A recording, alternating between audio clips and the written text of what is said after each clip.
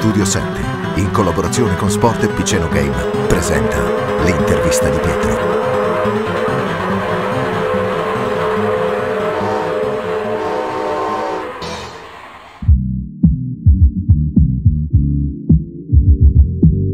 Va bene, a voi spettatori, non cambiate canale. Tra poco inizierà la mia intervista. Grazie Pietro. Nel minuto nuova puntata abbiamo ospite, allora, attore specializzato nel mondo del doppiaggio, ma anche direttore del doppiaggio, dialoghista, mm. attore, che abbiamo detto, abbiamo detto attore teatrale. Allora, però la prima domanda più semplice, oltre che Pino Piovano, il, la prima domanda, Pino. Pirovano. Pirovano, scusami, Pino Pirovano. Guarda, innanzitutto... E Grazie di avermi invitato e un saluto a tutti i tuoi ascoltatori. Ma è una cosa abbastanza, come dire, eh, chiara e consolidata nel tempo, che fino a Firenze il cognome viene detto in modo corretto, Pirovano. Da Firenze in giù diventa Pirovano, ma questo è un po' per le accentazioni del sud. E io da mezzo buon sudista lo so. Eh sì, ma la prima domanda più semplice che forse ti possiamo fare, se dovessi descrivere oggi chi è Pino? Come lo descriveresti? Uh. Allora, eh, beh, uno che nella sua vita è partito cercando e volendo fare un'attività diversa da quello che svolge, perché riassumendo io sono un ex giocatore di basket che avrei, avrebbe voluto giocare a basket a certi livelli, quando ero giovane ho fatto anche delle cose abbastanza interessanti, eh, una persona molto curiosa nella vita, sempre. Eh, una cosa, un aspetto che non mi ha mai abbandonato, eh, che ritengo possa essere stato anche un punto di forza nella mia vita professionale e anche personale, e che ha scoperto eh, via via, strada facendo, l'amore per il teatro, cioè l'amore per una professione che non pensava assolutamente di fare, di svolgere. Uh, io negli anni 80 stavo facendo l'ISEF, perché volevo diventare un insegnante di educazione fisica. E a Milano c'è una, squadra, una scuola di teatro molto consolidata che si chiama Teatro Arsenale, di cui faccio la pubblicità con molto piacere, eh, basata sul metodo Lecoq, che è stato un grande maestro del teatro, un pedagogo, ha lavorato e ha insegnato, è quello che ha portato, non so, anche la maschera neutra, le maschere larvali al piccolo teatro, ha lavorato per molti anni, collaborato col piccolo e due allievi di Lecoq eh, hanno fondato questa scuola a Milano, Marina Spreafico e Cuniachi Ida. Eh, e io mi iscrissi allora alla sera, mentre frequentavo l'ISEF, per la curiosità di capire e sviluppare il lavoro sul movimento, sull'azione fisica, non tanto sul teatro in sé ma perché facendo l'ISEF avevo questa curiosità di vedere come altri ambiti potevano sviluppare l'azione motoria. E da lì però è partito un meccanismo e anche un innamoramento per questa attività che mi ha portato poi negli anni a fare anche una scelta. Poi come sempre ci sono gli incontri fortunati nella vita e bisogna a volte saperle cogliere e a volte ti capitano. Eh, io in quel periodo, parliamo dei primi anni 80, eh, frequento la scuola, mi diplomo e contemporaneamente ho altre attività parallele, tra le quali quella dell'aver fatto l'animatore e aver lavorato con Giobbe Covatta per cinque anni nei villaggi turistici. Eh, nei villaggi turistici Giobbe assieme a un altro eh, attore, animatore che si chiama Victor Ugo Satta, decidono di venire a Milano per tentare la strada del cabaret e mi coinvolgono. E quindi con loro comincio questa avventura in un ambito, se vuoi, che non aveva nulla a che fare col teatro vero. Era il cabaret del derby, del Cabianca, quindi è un periodo veramente eh, d'oro dopo gli anni fulgenti dei, dei vari cabarettisti e comici più famosi. Ma in quell'anno, in quegli anni, sono usciti i maggiori comici italiani, a partire da Giobbe stesso, eh, c'era Enzo Iacchetti, il povero Giorgio Faletti e tantissimi altri. E così ho cominciato a frequentare un ambiente dello spettacolo, un ambiente dello spettacolo e questa voglia di voler diventare attore ha preso sempre più piede. Mi mancava tutta la parte sulla voce, diciamo proprio la base della dizione, la respirazione, la fonetica. E quindi che cosa faccio? Decido di iscrivermi al centro teatro attivo. Faccio pubblicità anche a questa scuola, con la quale collaboro da 38 anni. E quindi io sono stato un allievo di Nicoletta Ramorino, che è stata la fondatrice. E frequento il primo anno del centro teatro attivo. Lei alla fine del primo anno mi disse, molto onestamente, tu non farai mai l'attore Aveva ragione lei in quel momento, io glielo ricordo spesso, lei si mette a ridere, ma perché non avevo le competenze e forse ancora affinato una certa capacità dello strumento attore. È un po' con la testardaggine, un po' anche con la voglia di capire se effettivamente questo giudizio fosse definitivo oppure aperto a possibili variazioni. L'anno successivo, sempre al centro teatro, teatro attivo, io incontro il mio primo vero grande maestro di teatro, che è stato Gianni Mantesi. Eh, Gianni Mantesi teneva il primo corso professionale del CTA. Eh, io insisto con Nicoletta, le chiedo, senti, ti prego, fammi fare un provino con Gianni. Lei è un po' titubante all'inizio, poi, insomma, alla fine combina questo incontro. Io mi presento a una lezione di Gianni e lui con molta semplicità mi fa entrare nell'aula e mi dice, va bene, fammi sentire qualcosa. Beh, io avevo un solo monologo a memoria, che era Oltre l'orizzonte di O'Neill, me lo ricordo ancora. Io non so che cosa vide Gianni in me, però alla fine del provino mi disse, va bene, siediti. E da lì è partito un po' tutto. Quindi cioè, diciamo che è cominciata la mia esperienza teatrale vera e propria. Con lui ho fatto il primo spettacolo da professionista, ho finito la scuola, ho consolidato poi eh, la mia collaborazione nell'ambito scolastico con il CTA e questo fino a metà degli anni 80, 87-88 e qui interviene il discorso del doppiaggio. Eh, doppiaggio che in realtà per me era un mondo sconosciuto. Avevo tanti amici attori doppiatori di quella generazione, della mia generazione, ma non sapevo bene cosa volesse dire doppiare. E un giorno Federico Danti, che è un doppiatore storico di Milano, eh, un amico con il quale abbiamo fatto anche degli spettacoli teatrali, mi dice: Ma perché non doppi? C'era un po' lo snobismo, se vogliamo, tipico di quegli anni degli attori, ma è il doppiaggio, va bene.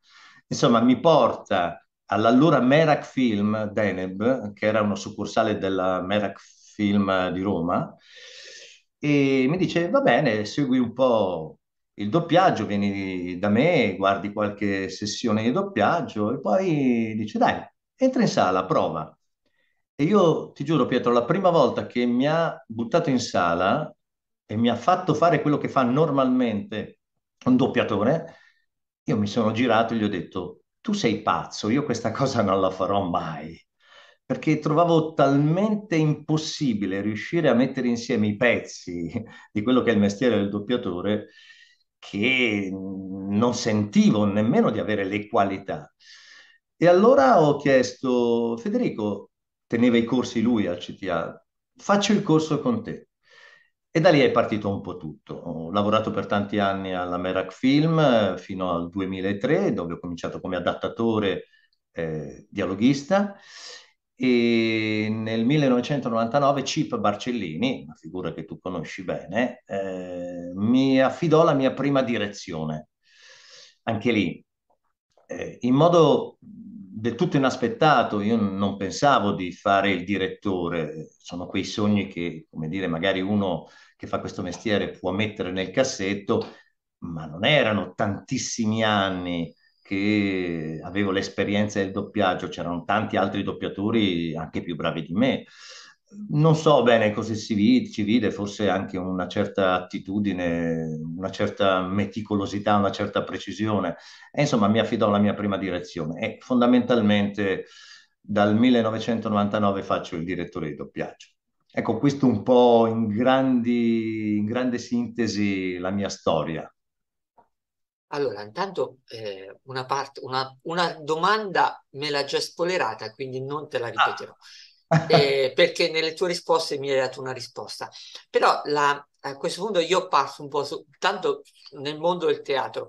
L'emozione quando sei salito per la prima volta nel palco, che ti sei aperto alla quarta platea, che in realtà davanti avevi un pubblico nel teatro inizialmente silenzioso, poi dipende dal tipo di commedia, di tipo se, drammatica. Senti un po' di brusio oppure senti un, un pianto, una risata, oppure il silenzio assoluto che poi in realtà molto spesso è un silenzio che parla in quel caso.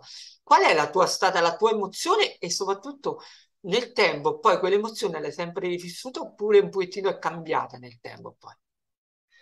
Allora, io ho ancora, eh, lo dico sinceramente, molto chiaro il momento in cui sono salito su un palcoscenico, si è aperto il sipario mm, in uno spettacolo che era Girotondo di Girodù, che era uno spettacolo saggio sempre con Gianni Mantesi e ho ancora molto ben chiaro dentro di me il cuore a mille, la salivazione azzerata, perché questo succede spessissimo per la tensione, e soprattutto questa sorta di vuoto nero che hai di fronte a te, perché il pubblico non lo vedi, che è durata non so dirti quanto, probabilmente il tempo della prima battuta o della battuta della mia compagna di scena in quel momento. Eh, da lì non ricordo il rapporto con il pubblico, ricordo soltanto per l'inesperienza l'attenzione che ho messo nel cercare di ricordarmi le battute, di ripetere il percorso fatto durante le prove. Quindi io non me la sono per certi versi goduta anche come esperienza e come emozione.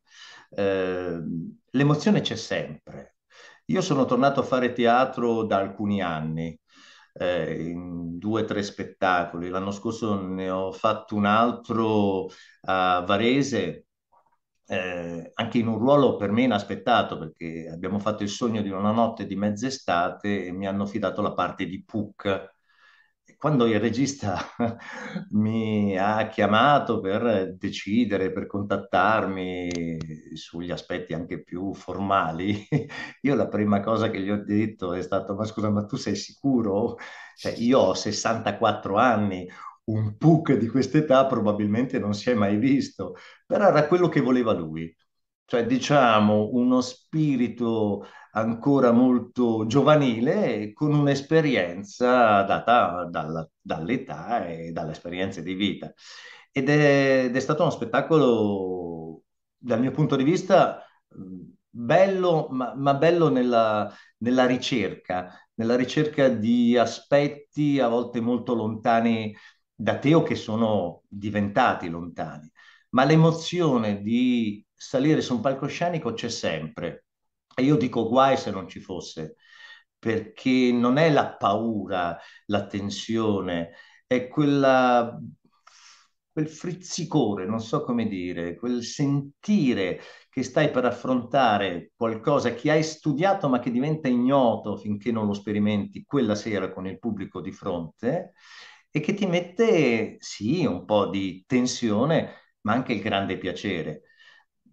È chiaro che chi comincia e affronta per la prima volta questo percorso ha più paura che piacere nell'affrontarlo. Eh, con l'esperienza, un po' con l'età, è chiaro che tutto questo viene un po' mediato, ma c'è sempre, ti assicuro che c'è sempre. C'è la paura di dimenticarsi le battute. Qualunque attore ti dirà che esiste un secondo prima di, entra- di entrare in scena.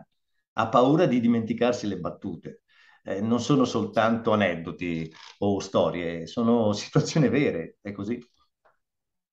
E invece poi l'emozione quando si scende al palco, che si incontra il pubblico, eh, che ti pongono anche delle domande, a volte hanno, eh, ti guardano sono emozionati e a quel punto non hanno neanche la capacità di farti una vera domanda, ma tu guardando il suo volto gli rispondi in modo che poi li rendi felici perché come se avessero fatto quella domanda che in realtà loro non ti hanno neanche fatto. Ti è capitato? Sì, sì, perché il contatto con il pubblico, eh, soprattutto in spazi che non sono quelli canonici del teatro all'italiana, quindi con il palcoscenico, il sipario, ma spazi diversi. L'anno scorso, per esempio, il sogno è stato fatto nei giardini estensi di Varese, sì, con una platea, ma il pubblico lo vedevi, poi era un po' dico itinerante. Eh, a me è capitato di fare uno spettacolo bellissimo con la regia di Fabio Mazzari, eh, che è un attore di vecchia data, ma un personaggio noto perché ha fatto uno dei protagonisti di Vivere, la soap opera di Canale 5 che è andata in onda per tantissimi anni.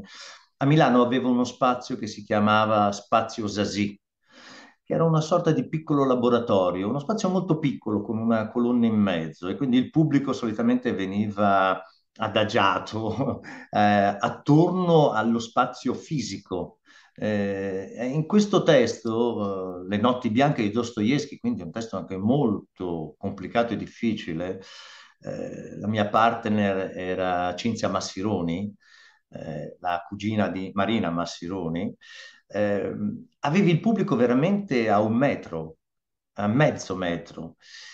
E devo dire che io privilegio questo tipo di rapporto perché è decisamente, se vuoi, più difficile da gestire perché senti il respiro, gli occhi sono su di te, eh, vedi effettivamente come le persone ti stanno osservando, però credo che tu possa riuscire a trasmettere empaticamente un'energia, un'emozione eh, completamente diversa, perché non c'è la separazione della famosa quarta parete che però è data dallo spazio fisico del palcoscenico, del sipario della prima fila di platea. Quindi sì, le, le persone ti fanno i complimenti, si congratulano, a volte ti fanno delle domande, a volte anche tecniche, eh, ma è un piacere parlare con le persone quando ti fermano, perché io reputo che il nostro lavoro non termini uh, solo quando il sipario si è chiuso o quando è finito lo spettacolo dopo gli applausi perché è anche bello interagire. È un, un approfondimento personale, oltretutto ti dà un sacco di informazioni su come hai svolto quel ruolo quella sera. Um, io da tanti anni insegno in questa scuola di teatro, mi capita di tenere seminari, corsi, e c'è una cosa che dico sempre, non c'è nulla di più ripetitivo e se volete a volte noioso dell'attore che tutte le sere replica lo stesso spettacolo. Cioè, se vuoi, ripete tutte le sere le stesse battute, lo stesso copione, le stesse entrate in scena, gli stessi, gli stessi percorsi su un palcoscenico. Che cosa dà, secondo me, la forza a un attore di poter migliorare e non entrare in questa routine? Beh, il fatto che la sera che ha fatto e ha svolto quel ruolo sicuramente avrà compiuto degli errori, ci saranno state delle cose che non hanno funzionato.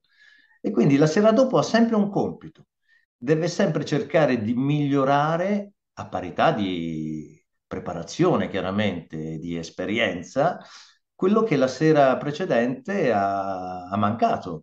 Quindi ogni sera in realtà è un nuovo spettacolo, perché ti metti sempre alla prova. Poi è vero, come si dice, il pubblico è diverso. Io personalmente non ho mai dato la colpa al pubblico per delle situazioni che non sono state sviluppate con, con forza ed efficacia. Parto sempre un po' dal presupposto che è la nostra responsabilità di attore, quella di entrare in contatto e di trasferire. Se il pubblico non perde l'equilibrio, come diceva Peter Brook, eh, non posso pretendere e scaricare la colpa sul pubblico che quella sera è venuto ad ascoltare e a vedere. Sta a me far sì che il pubblico venga attivato, sia appunto attento, partecipe. Eh, poi è vero, ci sono dei, dei, segnali, i vecchi maestri di teatro uh, li conoscono perfettamente, il tossicchiamento, il, a volte anche lo sbadiglio che si sente. Eh, però questo eh, dipende da chi? Dal signore in platea che si sta addormentando per stan- perché è stanco o perché sei tu che non lo stai interessando? un pochettino mi, mi ricorda un po' il, lo spettacolo teatro, po' rumori fuori scena, dove in realtà lo spettacolo ogni volta, ogni, ogni situazione porta a un cambiamento, effettivamente miglioramento, peggioramento, non si sa, però c'è questa cosa. Ma le domande più complesse ti vengono fatte dai giovani o dalle persone un pochino più attempate, cioè un po' più mature? Eh, due tipologie di domande. Eh, quelle un pochino più attempate della mia generazione sono un pochino più analitiche, ma perché arrivano anche con un bagaglio, uso il termine culturale, di conoscenza diverso e quindi sono un po' più approfondite nei, nelle tematiche, anche nelle, eh, come dire, nel chiedere tecnicamente cosa è stato fatto, il percorso, eh, la relazione tra i personaggi. Probabilmente perché arriva la maggior parte di loro anche nell'aver conosciuto il testo, se fai un testo classico, eh, o per una grande passione che si portano dietro da tanti anni. I giovani sono più curiosi nel capire, nel chiedere che cosa hai fatto, eh, come ti sei sentito, cioè più l'aspetto emozionale, eh, che poi è quello che credo interessi loro, no? Eh, più che l'aspetto tecnico perché è un po' rivivere delle emozioni per via indotta, no? È i neuroni specchio. tu stai facendo qualcosa, loro la stanno rivivendo e allora sono più eh, emozionali le domande più che tecniche. Almeno questo è un po' quello che è un po' la mia esperienza. E a questo punto passiamo un pochettino sul mondo del doppiaggio. Prima cosa, come è cambiato il mondo del doppiaggio? Non solo tecnicamente, perché sono cambiate dal, dalla bobina che si tagliava, si ripeteva, a volte si ripeteva tutta una scena, eh, ma da quando è iniziato, da quando oggi è cambiato, come è cambiato il, nella tua visione il mondo del doppiaggio? Quante ore hai per parlarne? No, cerco di essere esauriente, anche perché, guarda, io partirei dal, dal doppiaggio moderno, cioè da quello che si sta facendo oggi, con eh, grande richiesta di quantità, perché le piattaforme si sono sviluppate in modo incredibile, perché tutti i canali ormai propongono dal film alla telenovela al cartone animato ogni ora dei prodotti audiovisivi. E, e questo ha portato chiaramente a un incremento eh, non tanto della quantità lavorativa, eh, perché in effetti si doppia un po' di più, ma io non ritengo che si doppi molto di più di 10-15 anni fa. Eh, è cambiata proprio la modalità del lavoro, ma questo te lo diranno tutti e te l'avranno già detto tanti altri miei colleghi. Eh, tu parlavi della bobina, sì, io ho cominciato nell'86 e c'era ancora proprio il nastro, eh, dove c'era il tecnico che si alzava, prendeva la pizza, la metteva in questo marchingegno enorme, la tirava, la sincronizzava e soprattutto, come stavi ricordando, se un attore sbagliava, doveva ripetere interamente l'anello, perché non c'era la possibilità di intervenire. Questo però ti dava una grande attenzione e una preparazione diversa da, da quella che gli attori hanno, soprattutto quelli giovani, eh, hanno oggi. Eh, il fatto che sbagliando un anello dovessi aspettare il ritorno del nastro fino al punto per ripartire l'anello, ti permetteva di prepararti, di concentrarti, di aver capito dall'indicazione del direttore cosa avresti dovuto e potuto fare. Ora, eh, il fonico schiaccia un tasto e sei subito al punto di incisione. E questa cosa ha sì velocizzato il processo lavorativo, ma ha fatto un po' perdere di vista la qualità e anche l'attenzione che gli attori devono mettere nel loro essere attori, interpreti pronti a lavorare al meglio in quella scena.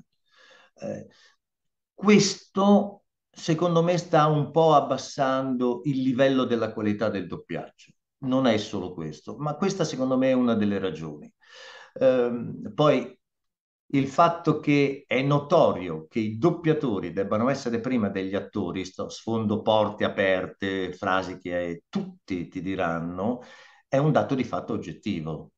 E quindi mancano, dal mio punto di vista, anche degli aspetti di formazione.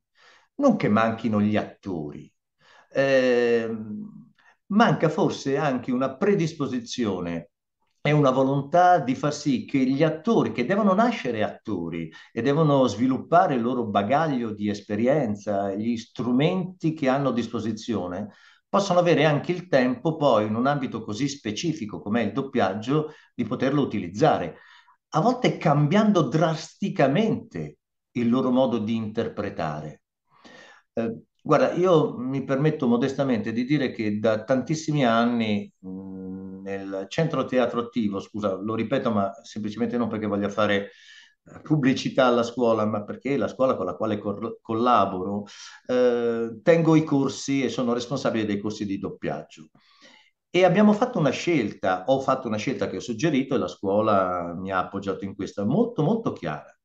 Eh, da noi i provini fra poco si svolgeranno eh, prevedono come minimo il fatto che tu abbia frequentato uno barra due anni di corsi di teatro, quindi che abbia una base tecnica già configurata, la dizione, che tu sappia lavorare sulla respirazione e che tu debba dimostrare anche di avere delle qualità al di là della voce eh?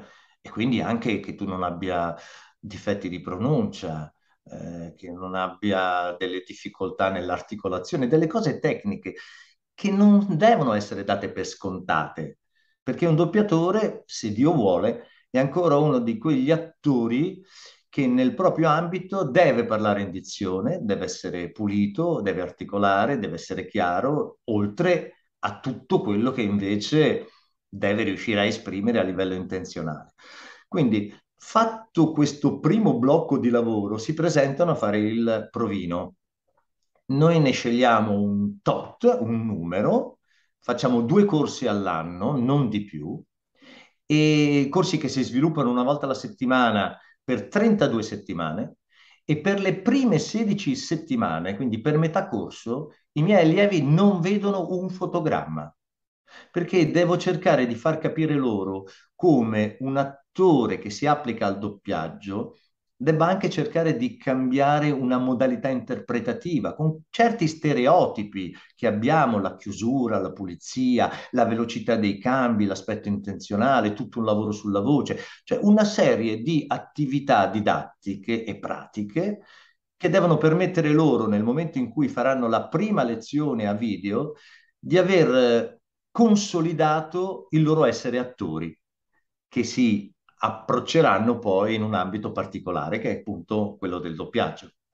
Tu hai detto, eh, tu, eh, hai assistito come eh, inizialmente hai assistito a una verifica, cioè sei stato dentro la sala di registrazione e hai visto i tuoi colleghi no, ad opera, in opera e hai capito come imparare, dove poter migliorare.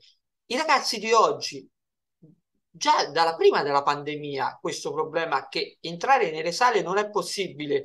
Adesso, oggi, ad oggi, c'è un rischio che questi giovani che vengono a crescere abbiano maggiori difficoltà nel svolgere poi il, il lavoro del doppiatore, non potendo osservare anche i, i tuoi colleghi di esperienza superiore, migliore. C'è come ed è molto concreta, come dicevi tu, già da prima della pandemia eh, le sale avevano in qualche modo chiuso la frequentazione degli studi. Non, non starei qui a indagare i vari motivi. In parte, devo essere sincero, un po' la colpa è delle persone che arrivavano negli studi gli studi sono un posto di lavoro, hanno delle regole, le persone vengono invitate e come qualunque ospite che venga invitato in un luogo che non gli appartiene, eh, dovrebbe avere un minimo di educazione nell'entrare, proprio nel comportamento. Eh, ti assicuro che eh, io sono un direttore, eh, non lo dico per vantarmi, ma semplicemente perché eh, sono sempre alla ricerca di voci nuove, perché queste sono il futuro di questo mestiere, eh, sono le generazioni che seguiranno la mia. E quindi io non ho mai negato il provino a nessuno, te lo giuro, mai a nessuno. E ho sempre permesso alle persone di entrare nella sala dove sto dirigendo e assistere al turno di doppiaggio. Però posso anche dirti che ci sono stati a volte degli episodi dove tu stai dando un'indicazione, hai appena finito di darla, l'attore interpreta e senti sommessamente lunga, mm, sporca. Mm. Cioè, al che tu dici, no, un attimo, te lo assicuro. Quando è, mi è capitato, io semplicemente mi sono girato, ho guardato negli occhi questa persona che ha capito che forse non avrebbe dovuto aprire bocca, mi sono rigirato e ho continuato il mio lavoro. Questa persona non è più entrata in sala ad assistere. È altresì vero che un po', devo dire, non so se per comodità o per quieto vivere, eh, le case hanno deciso anche di dire no, questo è un luogo di lavoro e quindi vengono ammessi soltanto alcune persone. Eh, Vedi, il fatto che il doppiaggio negli ultimi 10-15 anni abbia preso così grande spessore e desiderio nell'immaginario dei giovani, eh, ha creato anche un po' questo tipo di problema. Io sono vecchio, quando ho cominciato io eh, eravamo in due, tre ad assistere, ma durante la settimana e il mese. Adesso se aprissero le porte degli studi arriverebbero valanghe di attori, pseudoattori, doppiatori, qualcuno al quale è stato detto semplicemente guarda, hai una bella voce, perché non fai doppiaggio? Mm, cose che sappiamo, no? Sono risapute. E quindi tutto questo ha fatto sì che le case chiudessero le porte degli studi. Con la pandemia c'è stato proprio la lapide su questo tipo di, di situazione, che io reputo purtroppo invalidante per chi deve fare questo lavoro. E poi capisco che i, giovani doppiatori che vogliono lavorare in questo ambito si mettano fuori dagli studi ad aspettare i direttori con tutto quello che ne consegue. Quindi io non ho una soluzione. Personalmente io con molta, come dire, tranquillità, ma anche una certa selezione, aprirei ancora gli studi eh, facendo arrivare poche persone. Certo, però, vedi Pietro, questo è un lavoro per chi lavora in uno studio, non parlo dei direttori, dei doppiatori, parlo di chi gestisce praticamente anche solo all'accoglienza. Cioè, immagina delle segretarie eh, di produzione che sono incaricate a dover chiamare i colleghi, dare i turni, che ricevono decine e decine di telefonate al giorno. Cioè, alla fine puoi ben capire che anche per loro si arriva a un punto di saturazione, dici no, basta, io non posso perdere, tra virgolette, il tempo a dire a un attore o presunto tale, sì, guarda, vieni il giorno tale, no, puoi venire, no, non puoi venire. Allora, mh, mm, non lo so, idealmente io riaprirei gli studi e ricomincerei a far fare i provini eh, cosa che è importante perché i, i direttori non possono conoscere le nuove voci potenzialmente valide se non fanno provini. Ehm, allora, io, questo io, questo pronome non, non mi piace tanto, ma eh, non ero su Facebook fino a due anni fa, non l'ho mai preso in considerazione come social. Con la pandemia, un giorno, non sapendo cosa fare, mi sono iscritto. Va bene, questo ha fatto sì che tantissimi giovani doppiatori, anche non tanto più giovani, mi contattassero. Io a tutti, a tutti, ancora adesso lo faccio, do la mia mail dicendo se hai un Dabril, un, uh, una demo da mandarmi, questo è l'unico modo che ho per poterti ascoltare, perché non posso farti un provino in diretta con tutto quello che lascia come tempo rispetto al fatto che ti arrivano tante voci, eh, indipendentemente dalla pasta vocale, eh, alcune di grande qualità, altre meno, ma come faccio anch'io a potermi, tra virgolette, fidare. Cioè, io ho bisogno per fare un provino di testare sul campo un attore. I, I provini che faccio non si limitano a entra, guarda la doppia, la esci. Cioè, io ho bisogno di parlare, di farlo chiacchierare al microfono, di fargli fare, non so, una lettura a prima vista, di fargli fare un'incisione se posso su due o tre prodotti quando ho la possibilità, sempre rara, perché poi anche lì quando ti fanno fare i provini o te li chiedono, quando tu stai facendo un turno di direzione e se hai del tempo libero alla fine del turno e l'attore che deve essere provinato lì in sala, chiedi gentilmente al fonico, perché anche questo non dimentichiamoci, i fonici sono una figura professionale fondamentale in questo mestiere, ma di cui nessuno parla. I fonici sono eh, gli altri due occhi e le altre due orecchie del direttore, oltre a quelle dell'assistente. Eh, è quello che sa gestire perfettamente l'aspetto tecnico, vocale del suono. Se un, un amico fonico mi dice satura, io non perdo neanche tempo a farmi risentire. Dico all'attore rifalla. Eh, e quindi io, devo io chiedere un favore anche a un altro, eh, un'altra figura professionale che è quella del fonico sarebbe bello riuscire a fare negli studi delle sessioni due volte all'anno, tre volte all'anno, eh, dove si organizzano due o tre direttori, eh, danno la loro disponibilità, gli studi mettono gli studi a loro disposizione e si possano sentire le voci nuove. Allora, ci, eh, aspettiamo qualche secondo che si disconnette e poi così ci possiamo riconnettere Ok. perché eh, Studio 7, in collaborazione con Sport e Piceno Game, presenta l'intervista di Pietro.